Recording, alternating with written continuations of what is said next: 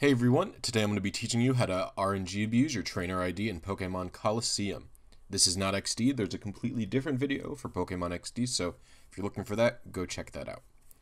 Um, there are a few requirements before you actually get started, and these are all of the applications you'll need in order to actually do the RNG. You're going to need PokeFinder by Admiral Fish. You're also going to need Eon Timer or your timer of choice. Um, the standard Gen 3 target frame type of timer. You're going to need CoTool by Cena Poke. And uh, for PokeFinder as well, you're going to need to make sure you have a uh, colo.precalc file uh, in the same folder as your uh, PokeFinder executable. Uh, if you don't actually have a colo.precalc, when you go to find your initial seed, PokeFinder prompts you to download it, so there is no worry there.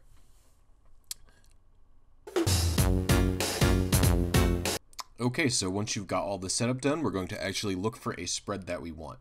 Now, what I'm going to be doing in this video is making a specific Pokemon spread shiny. If you're not interested in that and you're just interested in custom IDs, you may skip ahead to the timestamp uh, in the video now. So with that out of the way, in PokeFinder, click the GameCube tab, and you're going to click the Searcher tab. Then in the Filter section, you're going to fill out whatever uh, requirements you want for your spread to be shiny. So in my example, I'm going to be aiming for a perfect adamant spread. But you can fill out anything and hit search. So these are all of the perfect adamant spreads that exist in Pokemon Colosseum. So once we've got these generated, we can move on to finding our initial seed. Okay, before we actually do the RNG on Colo, what we're going to do is find our initial seed, and we do that by opening PokeFinder, clicking Gen 3 Tools, and clicking GameCube Seed Finder, then going over to the Colo tab.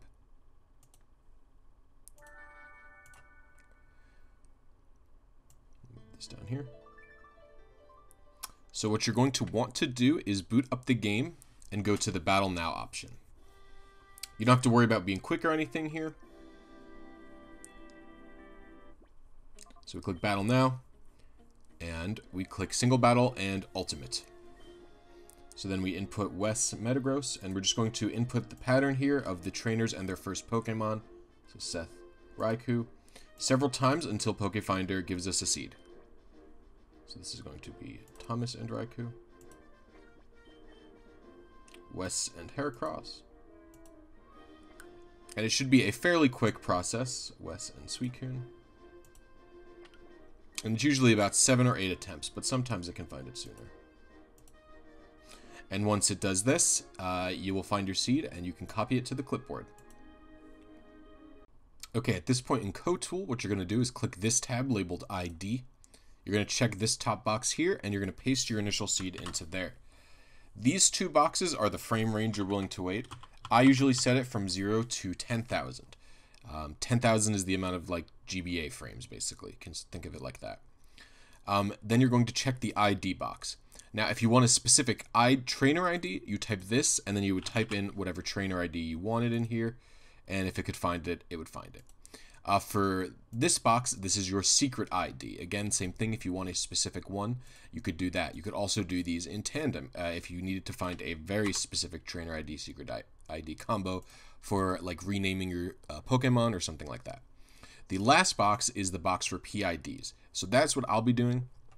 So what you do is you go into the GameCube RNG section and you find the PID uh, that you want. Now, I have multiple options. I don't actually care about any of the PIDs. All I care about is making the spreads shiny.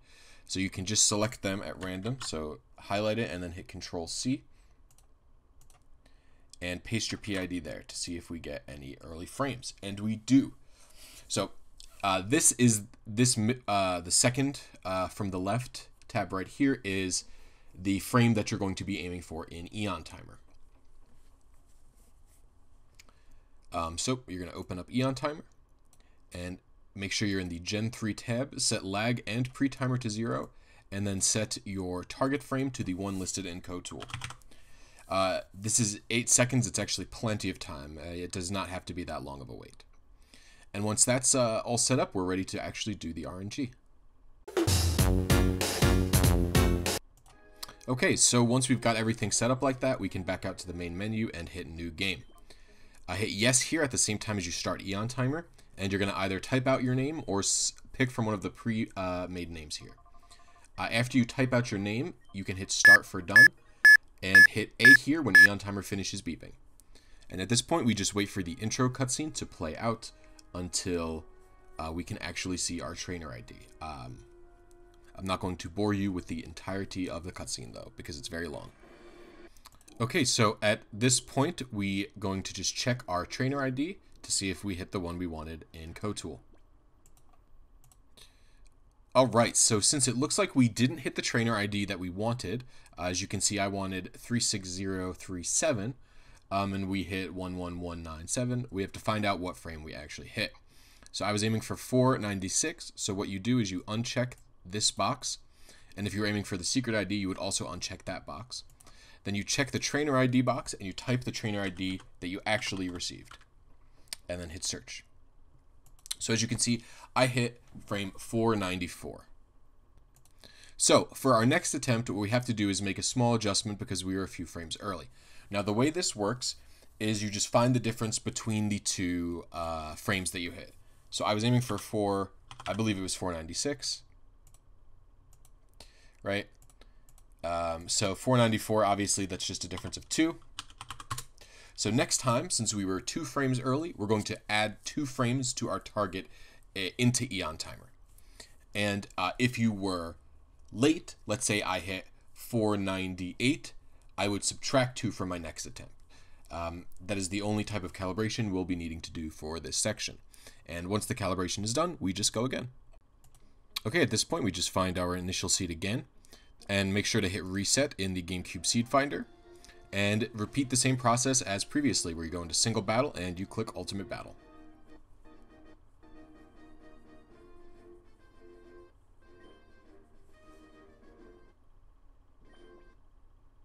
Okay, Wes Meganium. Wes Swampert.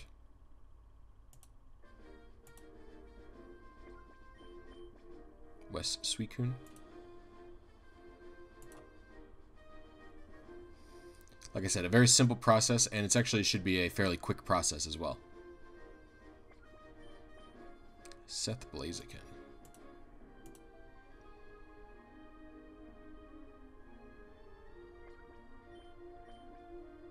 Seth Suicune.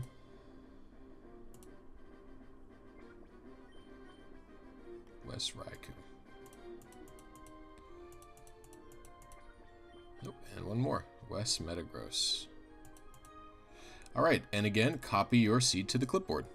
So in CoTool, I'm going to paste my new initial seed here, and I'm going to uncheck the ID box, and I'm going to recheck the PID box. So as you can see, I found nothing here, so I'm going to just check the next PID until I find a frame that I find early and acceptable enough. Okay, 2443 seems like a early enough frame for me, so I'll be aiming for that one. So what we're going to be doing is going back into Eon Timer. And if we remember from last time, uh, 2443, instead of actually doing 2443, what we're going to be doing is um, subtracting, uh, we're going to be adding 2 to this because we were too early last time. So I'm going to make it 2445, and now we can actually do the RNG again. So at this point, it's just going to be a repeat of last time, where we're just going to uh, hit new game and start Eon Timer at the same time. Uh, and I'm I'm going to be choosing new name, but you can choose a pre-selected name and just type your name out and hit start. And when it hovers is the is blank okay, you just hit yes at the same time as the Eon Timer ends. So when that happens, you can just start the uh, intro cutscene and check at the end to make sure that you're uh, you got the actually proper ID. Alright, as this fades out, let's make sure we hit the correct trainer ID.